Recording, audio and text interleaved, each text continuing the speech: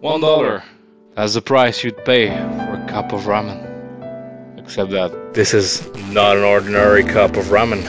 This is the ramen from the dollar store. You get two for one! Two, two for, for one! one.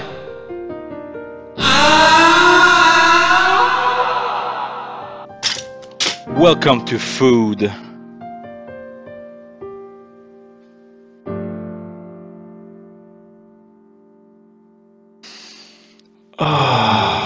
Smell the sealed packet of powder.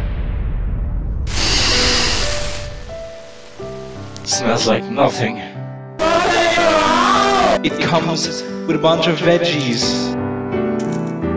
That's not healthy.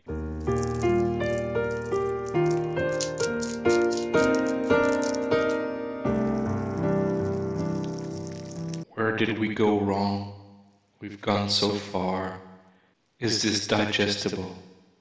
Are there traces of PVC in this? How long do we have to suffer? Is this why people die of cancer? Alright, it's time to, to eat!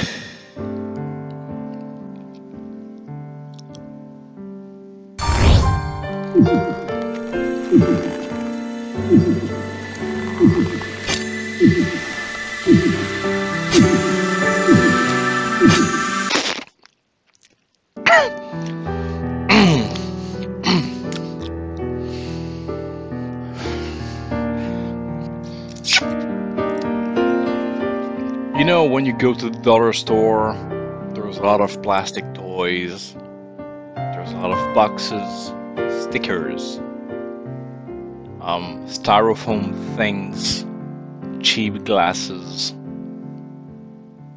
all sorts of shit.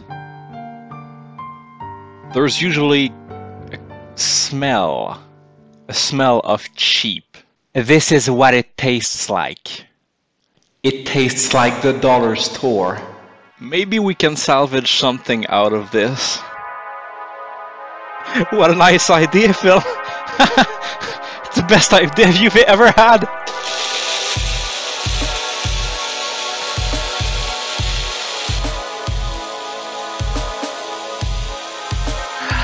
ハハハハ。